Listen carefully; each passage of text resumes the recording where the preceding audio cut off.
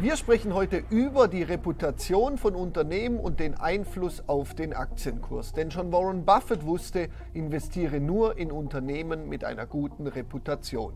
Wie das funktioniert, das schauen wir uns gemeinsam an, aber nicht alleine, denn ich habe eine Expertin dafür eingeladen. Also, legen wir los.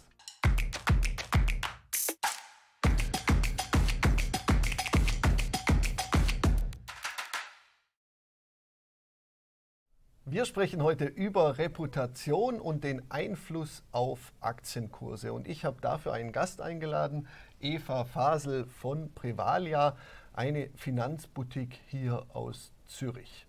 Eva, ich begrüße dich. Schön, dass du heute bei uns bist. Herzlichen Dank. Wir sprechen über Reputation und ich möchte starten mit einem Zitat von Warren Buffett. Der Großmeister selbst hat nämlich ebenfalls äh, ein Zitat und ebenfalls die Wichtigkeit von Reputation hier aufgeführt. Es geht darum, es braucht 20 Jahre, um eine Reputation aufzubauen, aber nur fünf Minuten, um sie wieder zu äh, ruinieren. Ich glaube, das sagt schon ganz viel und das sagt vor allem ganz viel darüber, wie wichtig Reputation eines Unternehmens ist. Nicht mhm. nur fürs Unternehmen selbst, sondern natürlich auch für den, für den Aktienkurs. Jetzt im Vorfeld habe ich mir auch viel Gedanken dazu gemacht und bin immer wieder an den Punkt gestoßen, Reputation. Wie definiert man überhaupt Reputation? Ja, das ist ähm, eine super Frage. Also es gibt keine größere Frage eigentlich ähm, in diesem Bereich, weil das haben sich natürlich schon ganz viele andere auch gefragt, wenn sie sich mit dem Thema beschäftigt haben. Bin ich also nicht alleine damit? Du bist nicht alleine. ähm, und das betrifft natürlich nicht nur die Anleger und Anlegerinnen am Markt, die sich das fragen, sondern auch die ganze Forschung, die sich mit diesem Thema beschäftigt.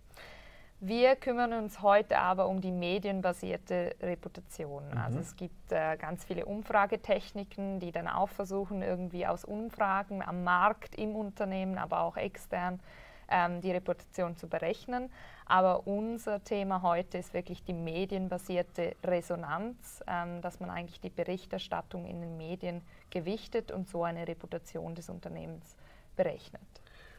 Das macht natürlich auch Sinn, weil immer wenn neue Nachrichten in den Markt kommen, werden die ja auch vom Markt verarbeitet, mhm. äh, sollten die sich ja auch zumindest mal, wenn der Markt effizient ist, sich auch irgendwann wieder im Aktienkurs widerspiegeln. Mhm. Äh, jetzt, äh, du hast es richtig gesagt, äh, Medienresonanz und äh, Reputation. Wir, hatten, wir haben es in der Vergangenheit ja auch schon oft erlebt, dass sich eine negative Reputation auch negativ auf den Aktienkurs ähm, entsprechend auswirkt. Und das liegt auch nahe, ich denke, das kann jeder nachvollziehen. Würdest du sagen, dass sich aber auch eine positive Reputation, also hat ein Unternehmen eine gute Reputation, sich langfristig auch positiv auf den Aktienkurs auswirken wird? Auf jeden Fall. Also Reputation ist ein vorlaufender Indikator, der eigentlich die Aktienperformance direkt beeinflusst. Ähm, natürlich ist der Aktienkurs von vielen Informationen getrieben, das wissen wir alle, aber ähm, Reputation ist ganz sicher eine davon und eine gute Reputation führt auch zu einer guten Aktienperformance und da gibt es ganz viele Studien, die das schon bewiesen haben, ja. Du hast ja auch in dem Bereich äh, geforscht und äh, interessant ist die Frage, die ich mir dann gestellt habe, wie kann ich das als Investor aber dann tatsächlich nutzen? Wenn ich jetzt sage, okay, als Privatanleger, ich möchte ähm, in, in Unternehmen investieren, die auch eine gute Reputation haben. Bewege ich mich da bei Google und mhm. äh, suche nach, äh, was gibt es für Nachrichten mhm. oder wie würdest du da vorgehen? Natürlich gibt es ein gewisses Gefühl, das man ja so hat, wenn man über gut reputierte Unternehmen spricht, dann wissen alle so, ah ja, das Image ist gut. Image ist zum Beispiel ein Teil der mhm. Reputation. Mhm. Also man, man hat ein gewisses Gefühl, jeder hat dieses Gefühl, wenn man eine Unternehmung betrachtet, aber man möchte das natürlich irgendwie quantifizieren. Und gerade wenn es um Anlegen geht, dann ist es natürlich perfekt, wenn man irgendwo eine quantitative Grundlage hat, die auch sagt, ja, die Reputation dieses Unternehmens ist gut, sie ist steigend oder sie ist sinkend. Und ähm, diese Daten sind natürlich nicht frei zugänglich. Mhm. Und das ist eigentlich die Challenge für die Anleger, und die Anlegerinnen am Markt, weil man kann diese Reputation, Reputationsdaten nicht einfach über Google finden, mhm. sondern da gibt es ganz spezielle Datenanbieter, solche Provider und diese Daten sind dann auch sehr teuer, weil sie natürlich auch mit einem großen Aufwand generiert werden. Absolut, aber ihr habt jetzt eine Lösung geschaffen äh, für Anleger, wie sie von einer positiven Reputation am Schweizer Aktienmarkt profitieren können. Mhm. Relativ einfach, weil ihr investiert dort in diesem Basket immer in die Top 20 Schweizer Aktien nach der Reputation. Das ist korrekt, ja. Es ist so ein langer Satz, äh, das irgendwie zu definieren. Aber ja, wir haben uns natürlich auch gefragt, wie können wir das irgendwie ausnutzen? Weil die Reputation wirkt positiv, wir wissen das, wir haben die Fakten, wir haben auch die Daten weil Comslab, eine Beratungsboutique in Basel, mhm. ähm, gibt uns diese Daten. Die haben 15 Jahre Erfahrung in der Reputationsberechnung. Okay und quantifizieren das von den 100 größten Unternehmen in der Schweiz. Also sie haben wirklich die Reputationsdaten über die letzten 15 Jahre von diesen 100 Unternehmen, die sich natürlich auch laufend ändern. Da gibt es spezielle Richtlinien, die müssen eine bestimmte Größe haben, dass man das überhaupt quantifizieren kann. Und dann gibt es da einen ganz systematischen Approach, wie, dieser, wie diese Reputation berechnet wird. Und das passiert auf äh, täglicher Basis. Okay. Und äh, am Monatsende wird dann der Index definiert ähm, und der besteht dann eben aus diesen 20 bestreputierten Aktien in der Schweiz zu, zu diesem Zeitpunkt. Also das heißt, äh, einmal, also immer am Ende des Monats tauscht die Aktien aus. Mhm. Äh, die, die neu in die Top 20 dazugekommen sind, werden hinzugekauft mhm. und die, die nicht mehr in den Top 20 äh, sind, werden verkauft. Genau. Ich finde das einen ganz, ganz spannenden Ansatz, weil ich glaube, der Schweizer Aktienmarkt an sich hat schon ein, vor allem im Ausland, ein gutes Standing und mhm. ist von guter Reputation äh, unter anderem geprägt und mhm. dort sich natürlich auf die Top 20 zu fokussieren, ähm, halte ich für sehr, sehr spannenden Ansatz und einen sehr guten. Wir können ja mal gemeinsam auf diese 20 Werte schauen, die aktuell in diesem Basket mhm. äh, mit drin sind. Das ist, es ist so, dass wir einige bekannte Namen äh, mit drin mhm. haben, wie Sika oder Straumann oder die VAT Group oder Zürich. Mhm. Mm, aber auch einige, die vielleicht äh, nicht jeder Investor jetzt direkt auf dem, ähm, auf dem Schirm hat. Spannend ist, dass ihr nicht nur die 20 Werte habt, sondern die haben auch unterschiedliche Gewichtungen. Kannst genau. du dazu was sagen?